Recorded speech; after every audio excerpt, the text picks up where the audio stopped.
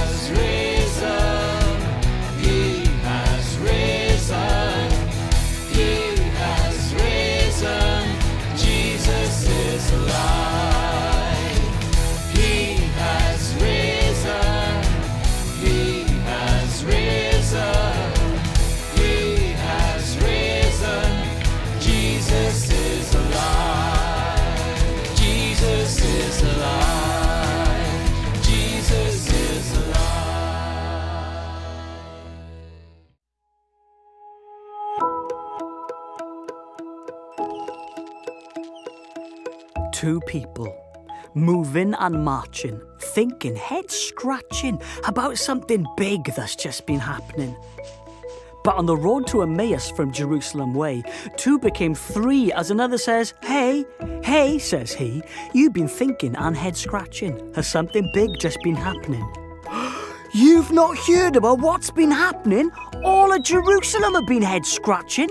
What have I missed? asks the man. I'd love to know. Please tell if you can. It's about a man called Jesus, and we thought he was coming to rescue God's people and send the Romans off running.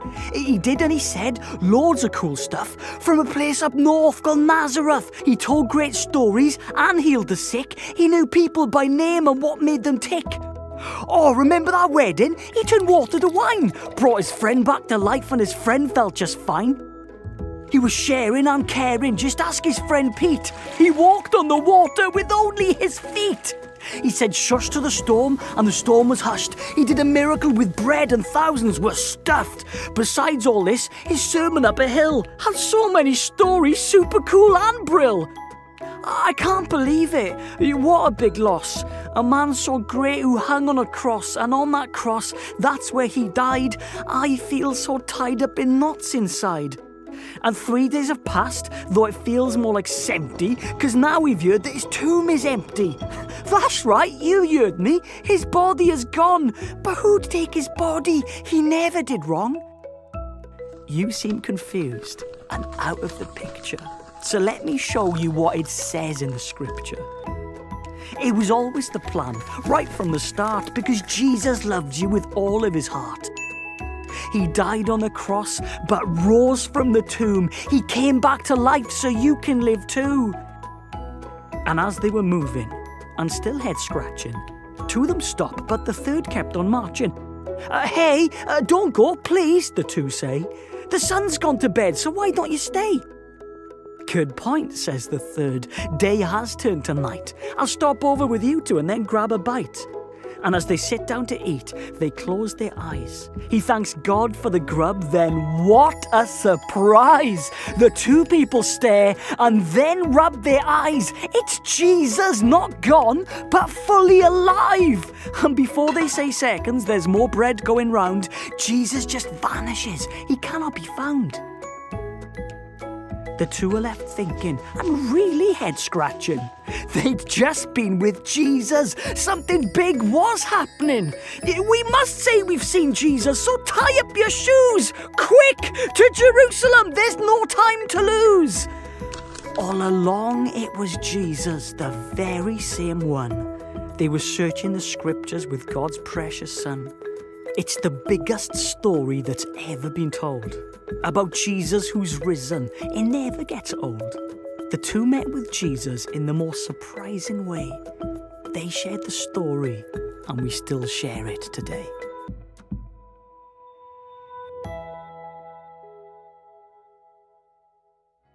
Good morning and a very happy Easter to you. Today we're going to look at the events that took place on that road. The road to Emmaus, where two became three. But of course, these two disciples didn't realize the third person walking with them was Jesus. That Jesus is alive, that he had conquered over sin and death. We're going to track the events as Jesus opens up the scriptures and helps them to understand that all scripture had been pointing to him. Him as the one who would redeem and rescue the whole world. We're going to look at the events that took place around that table as they broke bread. And then the disciples' eyes were open to see who Jesus really was. And we're going to see that these two disciples who were mourning are now running down the road telling their friends that Jesus is alive.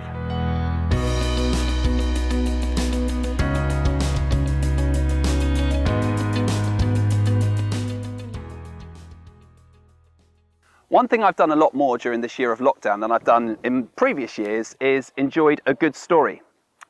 And I particularly enjoy a good story that runs through a film narrative. As a family, we've been revisiting the MCU, that's the Marvel Cinematic Universe, in which we've been following the accounts and the stories of these isolated superheroes and how they've been seeking to defend the world and the universe from a threat. But it's interesting watching them for the second, third, and fourth time is as you watch these isolated movies, you see that they all interconnect with one another because there's a bigger narrative going on. As they seek to rise up against the biggest threat there is against the world and ultimately the universe and seek to save the world. Well, the MCU is similar to really what's going on in this passage today. Because Jesus helps these disciples to see that all these isolated stories from Moses to David to Joseph to Esther, the prophets, that they're all interconnected. They're all pointing to one person, and that person is Jesus. Wow, what it must have been like to be with the disciples that day as Jesus opened up the scriptures, but more importantly, opened up their eyes to see just who he is. I can only imagine what stories he chose to tell.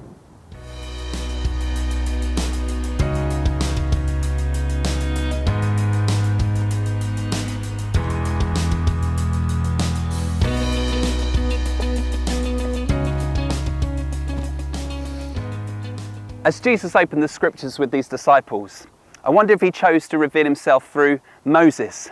Moses, who was led by God to take the Israelites out of captivity under the oppression of Egypt through the parted seas into the wilderness, then for Joshua to take them into the promised land. Through that account, did he help them to see that he was the one who came into the world to free us from our oppressor, sin and death, and to take us into the promised New Jerusalem? Did he choose to reveal himself through Abraham and Isaac, a father who willingly was prepared to give up his son on an altar to be sacrificed, only for God to provide a male sheep to be sacrificed in his place? Did Jesus choose to reveal himself through that as the, the one by whom his father had sent him to be the Lamb of God that would be slain for the sins of the world? Did he choose to reveal himself through David, a young boy who would battle a giant, the oppressor that came against their people? And in, with three stones struck him down. Did Jesus choose to reveal himself through that as the one who would take down our oppressor, our enemy? But instead of three stones, he took three nails himself to defeat our enemy. Regardless of what stories Jesus chose to share with these disciples, the reality with each one, he was revealing that he was the true and better one. He was the true and better Moses, the true and better Abraham and Isaac, the true and better David. But with each one, these disciples were with the true and better one as he was explaining who he is to them.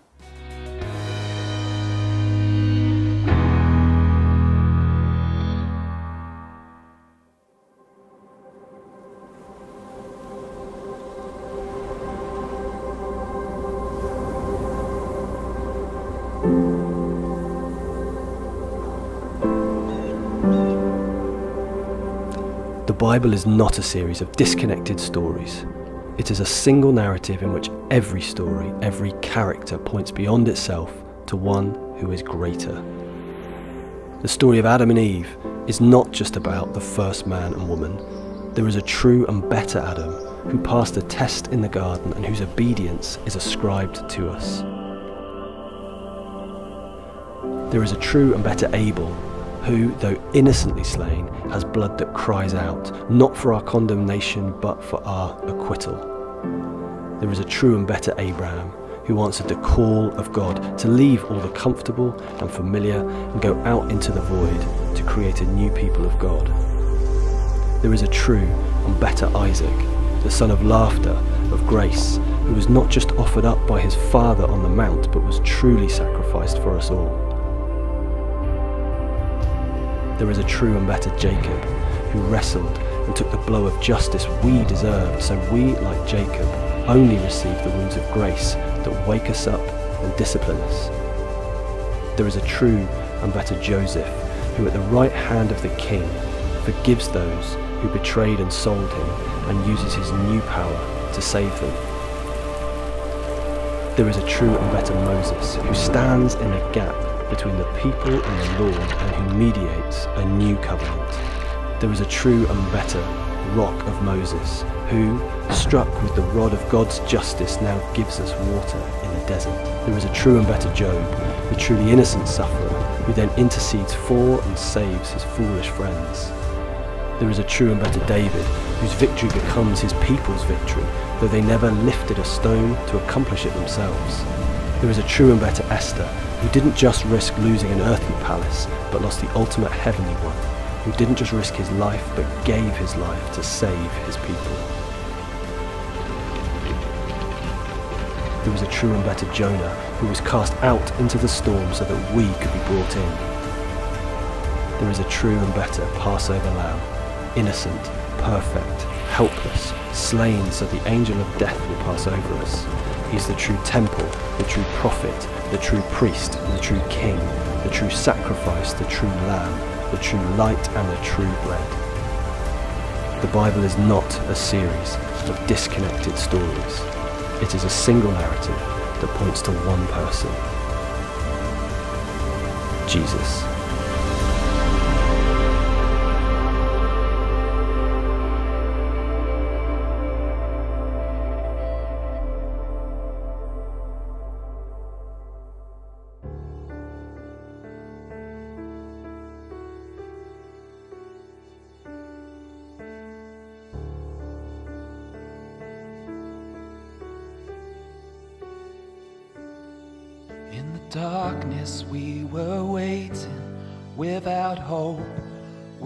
Without light.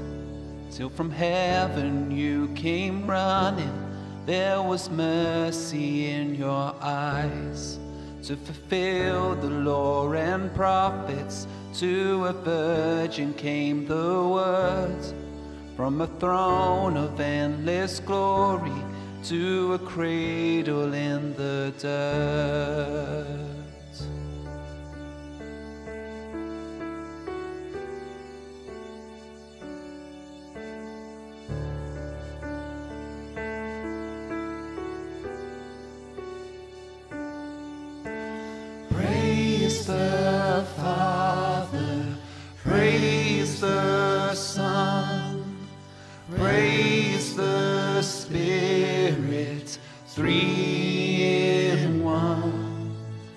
God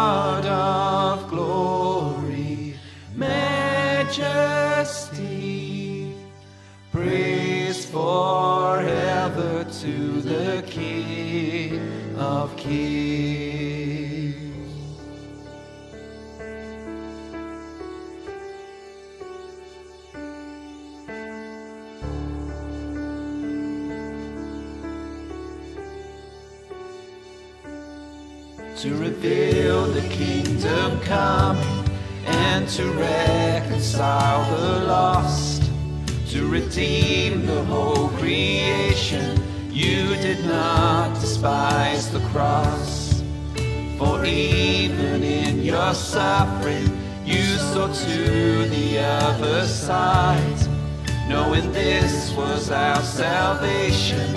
Jesus, for our sake you died.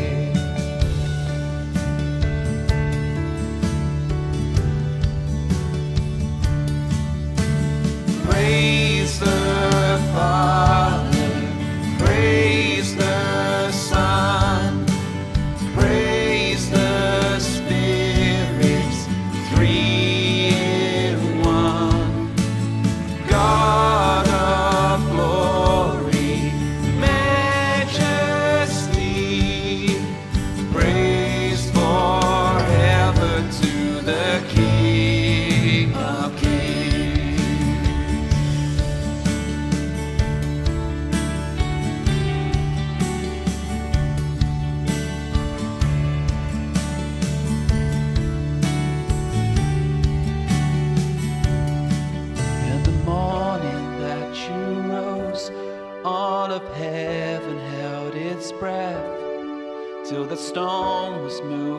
good.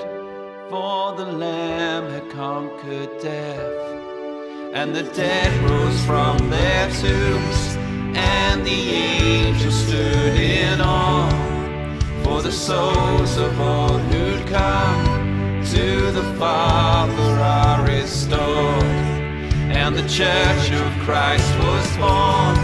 Then the Spirit lit the flame. Now this gospel truth old shall not kneel, shall not faint. By His blood and in His name, in His freedom I am free for the love of Jesus Christ, who has resurrected King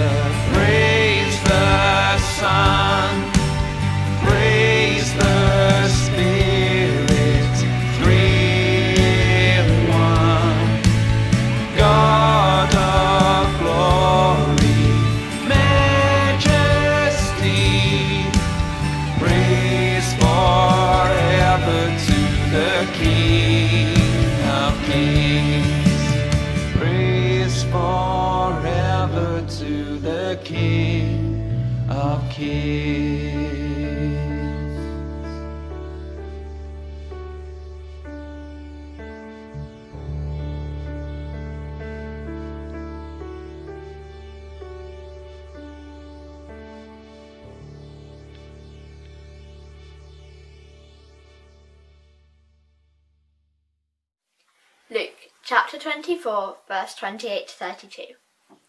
As they approached the village to which they were going, Jesus continued on as if he were going further. But they urged him strongly, Stay with us, for it is nearly evening, the day is almost over. So he went in to stay with them. When he was at the table with them, he took bread, gave thanks, broke it, and began to give it to them. Then their eyes were opened, and they recognized him as he disappeared from their sight.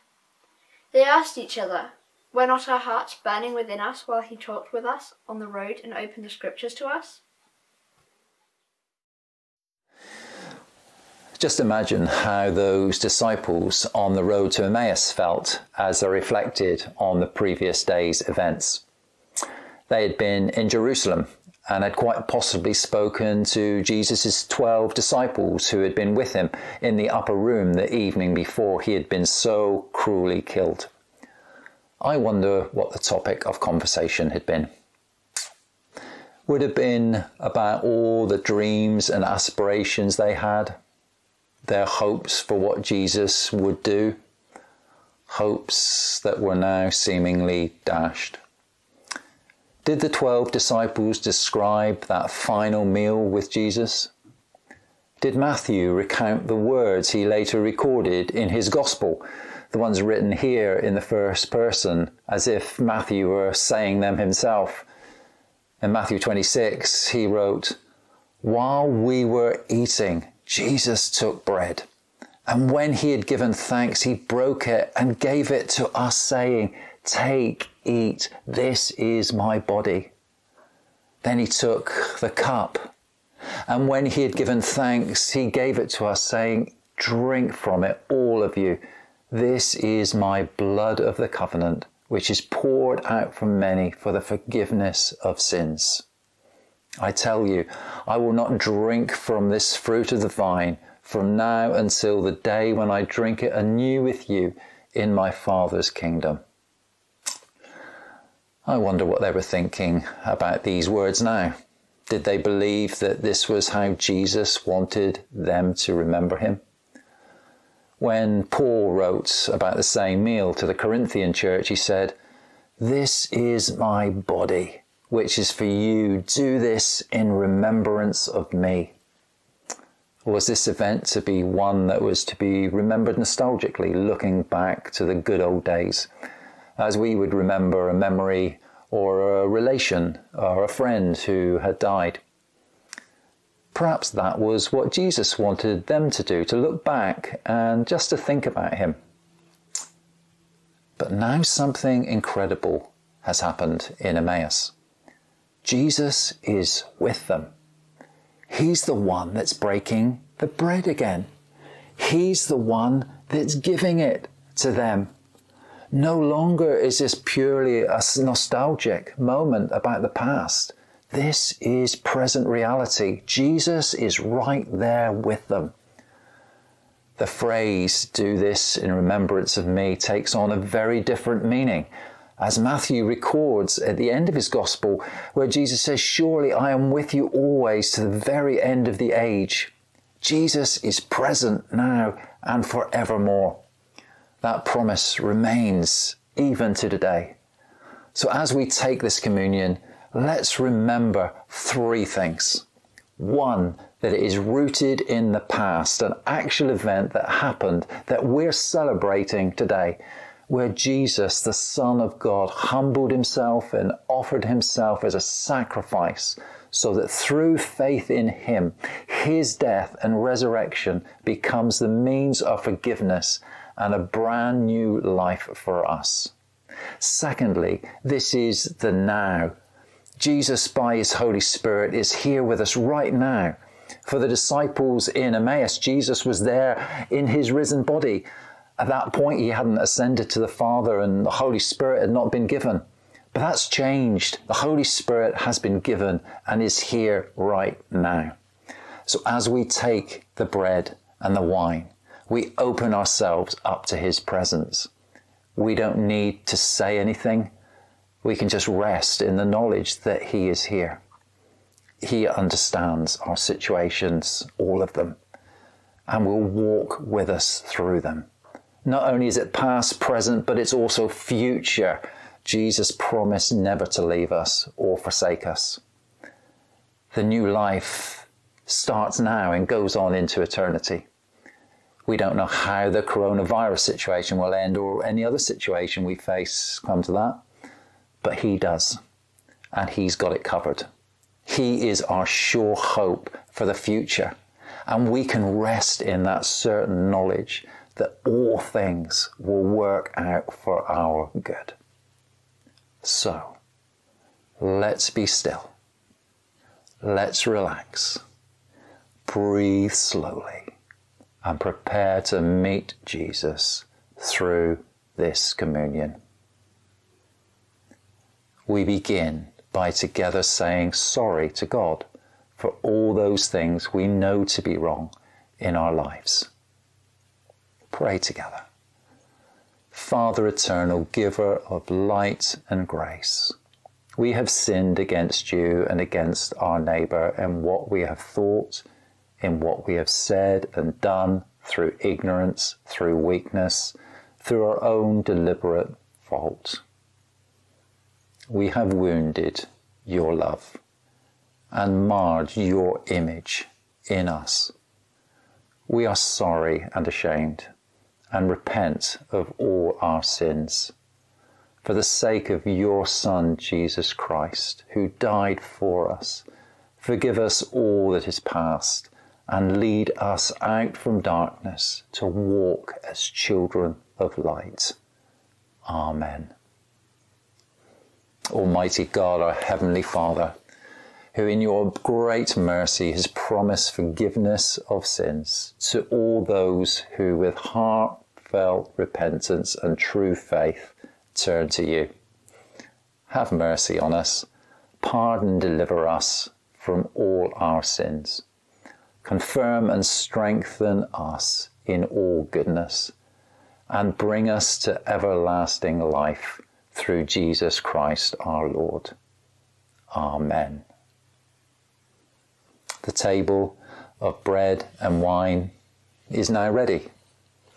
So come to this table, you who have much faith, and you who would like to have more you who have been here often, and you who have not been here for a while, you who have tried to follow Jesus, and you that have failed.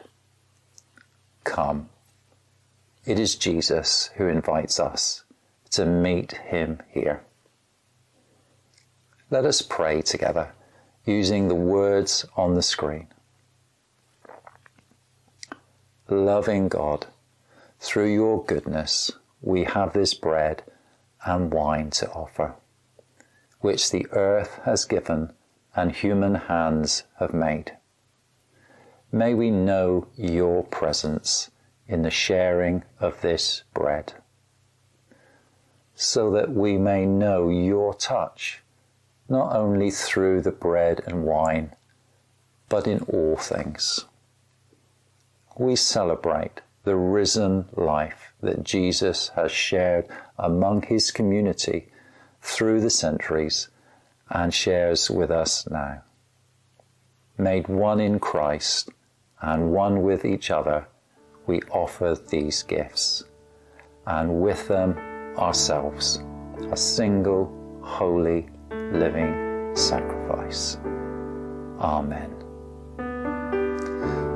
So let us now eat together through our next song, Open the Eyes of My Heart, Lord.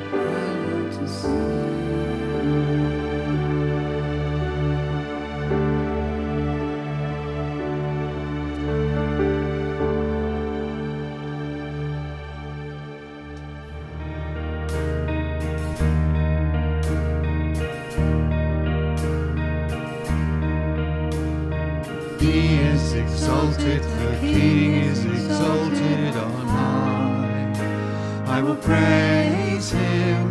He is exalted, forever exalted, and I will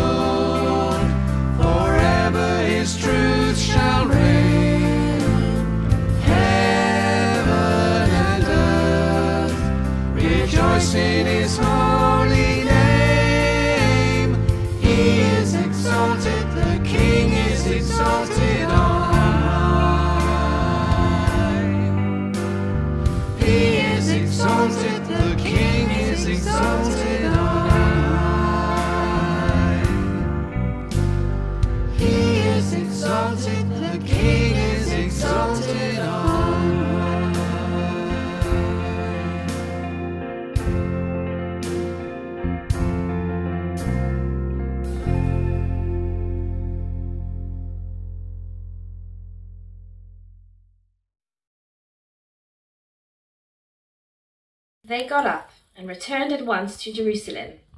There they found the eleven and those with them assembled together, and saying, It is true, the Lord has risen and has appeared to Simon. Then the two told what had happened on the way, and how Jesus was recognized by them when he broke the bread. While they were still talking about this, Jesus himself stood among them and said to them, Peace be with you. They were startled and frightened, thinking they saw a ghost. He said to them, Why are you troubled, and why do doubts rise in your minds? Look at my hands and my feet. It is I, myself. Touch me and see. A ghost does not have flesh and bones, as you see I have. When he had said this, he showed them his hands and feet. And while they still did not believe it because of joy and amazement, he asked them, Do you have anything here to eat? They gave him a piece of boiled fish, and he took it and ate it in their presence. He said to them, This is what I told you while I was still with you. Everything must be fulfilled that is written about me in the law of Moses, the prophets, and the Psalms. Then he opened their minds so they could understand the scriptures. He told them, This is what is written the Messiah will suffer and rise from the dead on the third day, and repentance for the forgiveness of sins will be preached in his name to all nations, beginning at Jerusalem. You are witnesses of these things. I am going to send you what my Father has promised, but stay in the city until you have been clothed with power from on high.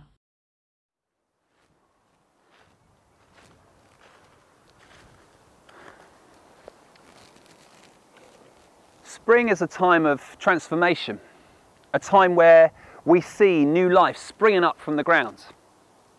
But it is just a season.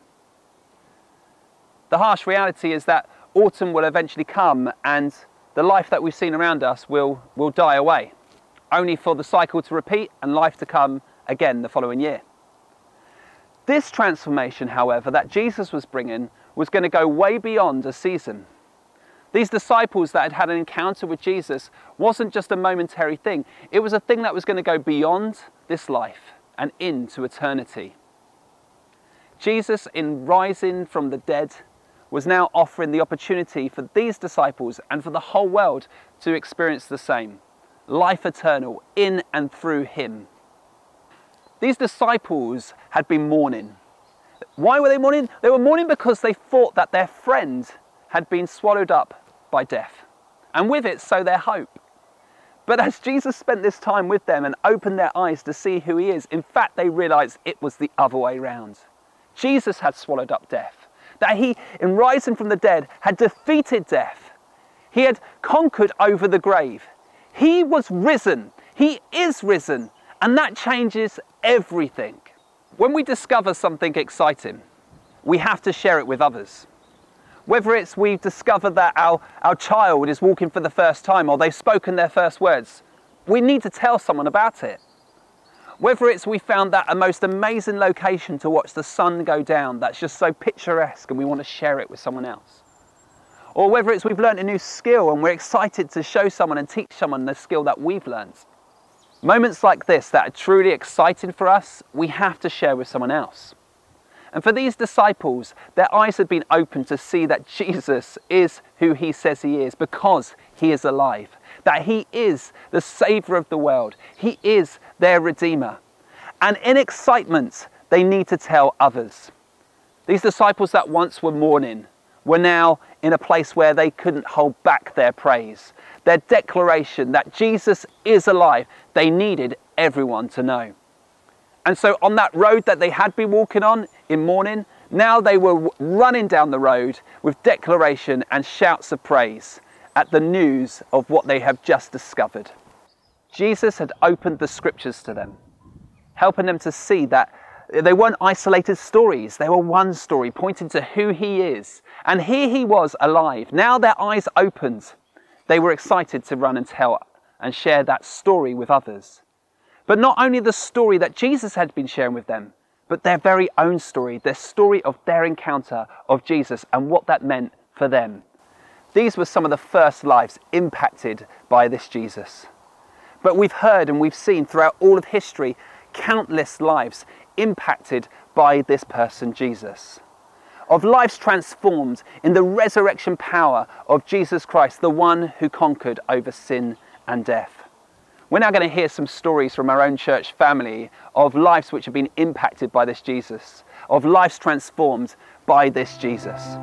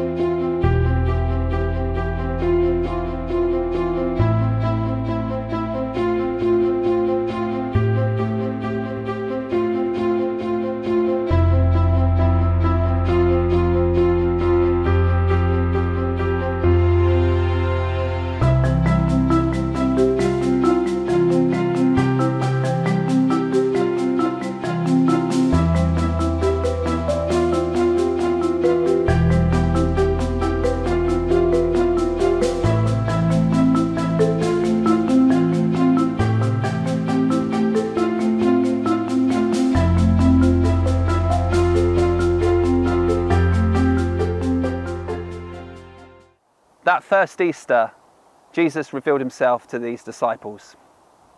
And today, Jesus longs to reveal himself to us. Whether we've been walking with him for a number of years, and today is a day where we perhaps open the Bible anew and we see him fresh on the pages in front of us, or whether it's for the very first time. The fact is, for, for these disciples and, and for us as his disciples, he longs to turn our mourning into praise. As we recognize that he is the king of the world. Why? Because he conquered sin and death, that he is risen. This is what we celebrate as Christians at Easter that Jesus conquered sin and death, and with it, we enter into life anew. That Jesus truly is the better Moses. He truly is the better David, the better Isaac, the better Jacob, the better, the true and better one. Why? Because he's the Saviour of the world.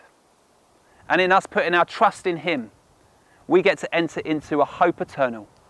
We get to enter into a relationship with the God of the universe. We get to be free from the curse of sin and death. This is the good news. This is the day of celebration, the day in which Jesus became King of the world, the one who extends an invitation for us to come and be part of his family. And so, as we come to a close now, and we come into a time of response, of celebration, as we sing these songs, let's sing it with praise upon our lips that our Lord and Saviour has done a mighty thing for us. But if you don't know Him, let's just take a moment now. Maybe today's the day to come into that relationship with Him. Maybe today's the day that you enter from your mourning into praise as you see Jesus as your Lord and Saviour. So let's just take a moment now to pause, to be still, to take that moment before Jesus and pray. Lord Jesus, we say we believe in you. We believe that you are the one who died and the one who rose again. And now you're the one who's sitting at the right hand of the Father in glory. Lord, we thank you for, for revealing yourself to us through your word. Lord, thank you for the transformation you have brought to our lives. Lord, thank you that in knowing you, we have the greatest hope secured. Lord, help us this Easter to be those who take that good news and, like the disciples, with hearts of praise, seek to make you known to the world. Lord, we worship you this morning as the one who has broken the curse of sin and death. The amazing grace that you've extended to us, Jesus. We give you praise, we give you thanks, we give you honour, glory. And Lord, we say that this truly is the happiest day that we get to celebrate what you have done and the life transformational power that means for each one of us. We worship your holy name. Amen.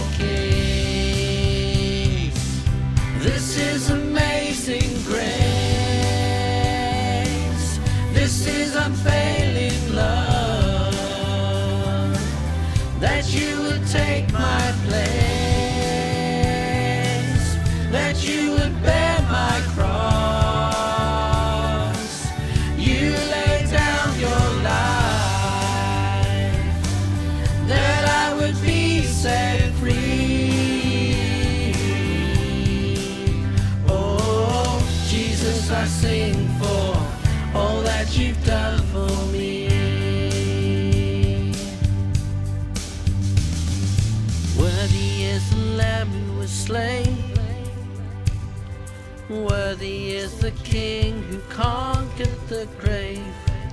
Worthy is the Lamb who was slain.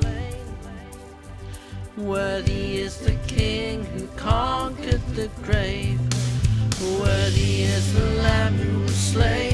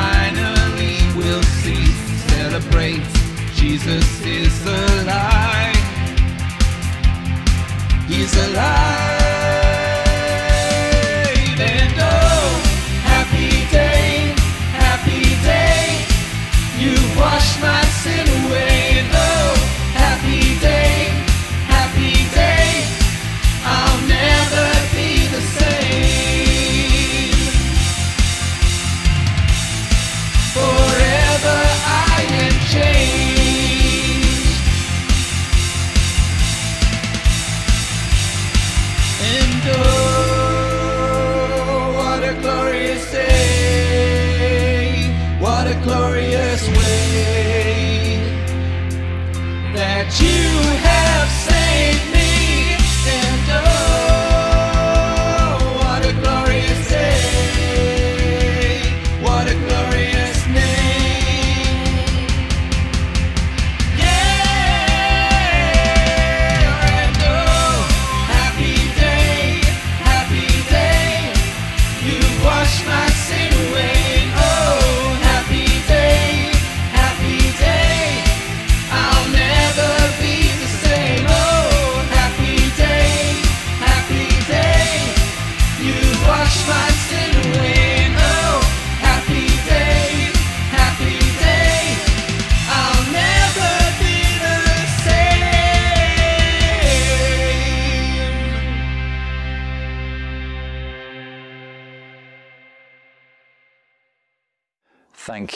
Lord Jesus, that through our faith in you, we are changed. Help us to continue daily in this process of continual change by keeping our eyes fixed on you, by abiding in you, and constantly being led by the Holy Spirit. In these days of challenge, help us to remember that the events of the first Easter made it possible for a new, forgiven, and redeemed life. That today we have your constant Holy Spirit presence.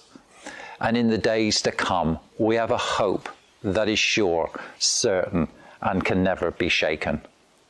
Amen. Well, it's been great they've been able to join us today. If you're watching live, please remember you can join a few of us for a chat after the service by clicking the connect button on your screen. But from all of us at BCC, we wish you a wonderful Easter, that you may know the blessings, the love, the joy, the hope, and the rest that only Jesus can give. See you soon. Bless you. Bye.